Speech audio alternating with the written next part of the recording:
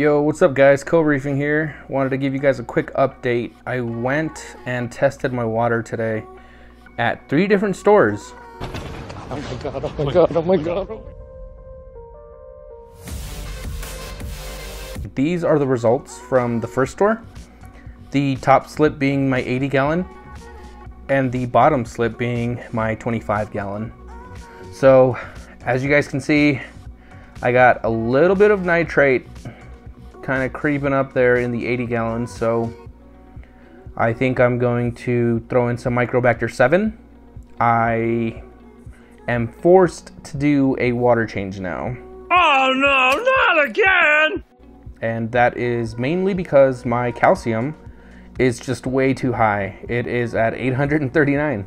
So maybe that's why the bubble coral isn't so happy in the tank. Everything else is fine. pH is at 7.9 and my alk actually it seems a little bit low but I think it's low because of the calcium being so high and it just precipitating all of the alk that I'm dosing into the tank because I do have a aquaforest liquid that doses alkalinity straight to the tank. So that's what I'm gonna end up doing to the 80 gallon is water change. And my plan is to do like a 30 gallon water change I have like a 32 gallon brute trash can, so I got that kind of circulating right now and, and getting up to temperature so that I can throw some, some salt in there, some salt mix.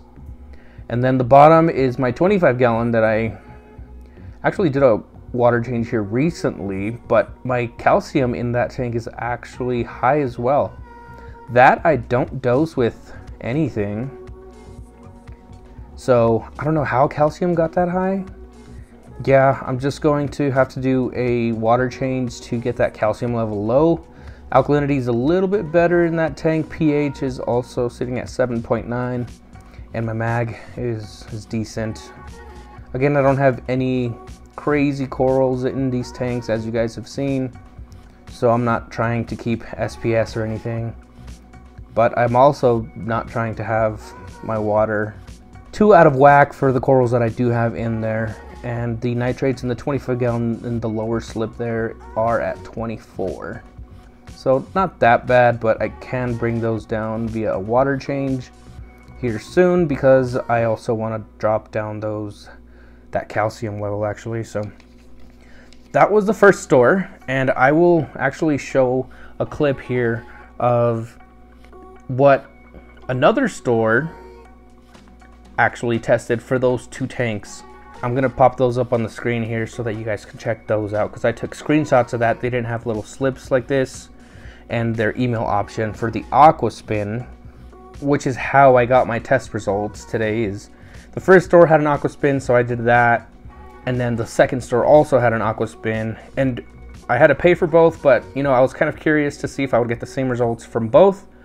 And they're a little bit off. So, you know, even the aqua spins aren't consistent. They were consistent on some things and or close, right? But yeah, I just I wanted to test it out. From the third store that I went to, they actually did manual tests. They didn't have the aqua spin there. And if you guys aren't familiar with the aqua spin, just YouTube it or something. But a lot of your local stores might have it. It's kind of cool. You just put in a sample of your water into this plastic disc. It spins in this aqua spin uh, machine and that actually will, will return like seven different tests for you all in one test. So those are pretty cool. Um, check them out if your stores have them. They're pretty fast and from what I hear accurate. Here we have the tests from the third store and the third store actually does manual testing via the Salifert test kits. They were kind of accurate um, compared to what I was getting out of the aqua spins, right? So the, on this right side, I did have the 80 gallon. Uh, salinity might be 0.1 too high, but even 1.026 isn't that bad. My alkalinity 7.3 for both tanks. Nitrates obviously a little bit higher in the 80 gallon, so I need to get those down via water change and then just obviously the calcium being over 500 I again just need to do a water change to get those down And then on this left-hand side, it's not looking that bad, right? So alkalinity is at 7.3, nitrates 25. Again, gonna do a water change to try to get those down to like 10. I don't wanna have zero. And then of course doing that water change to get that calcium level lower as well. Here I am getting ready to do that water change. What I plan on doing is actually taking some water out of the tank into these five gallon buckets and then marking it like on the left side over there closer to the wall on how low the water level gets so that I don't have to keep remeasuring and I can just kind of take five gallons or 10 gallons or 15 gallons out of this tank without having to measure it via a five gallon jug or a five gallon bucket. So that's what I'm gonna do today. Hopefully my calcium levels go a little bit lower. I might test in about two weeks. I don't wanna test every weekend because it can get expensive.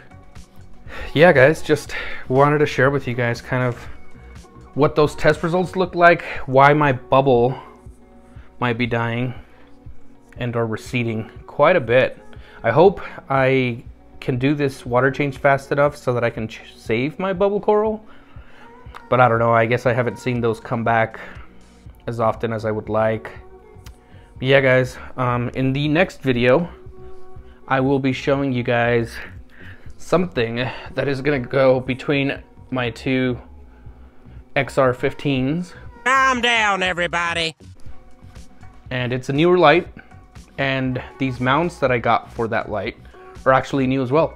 So if you guys are interested in possibly copying me, I'll have those links in the description of that next video so that you guys can check those out as well. But I'll let you guys go. I'm gonna get to this water change and I'll see you guys in the next one.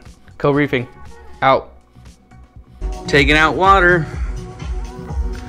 So far I've taken out 10 gallons. This will be 15 here.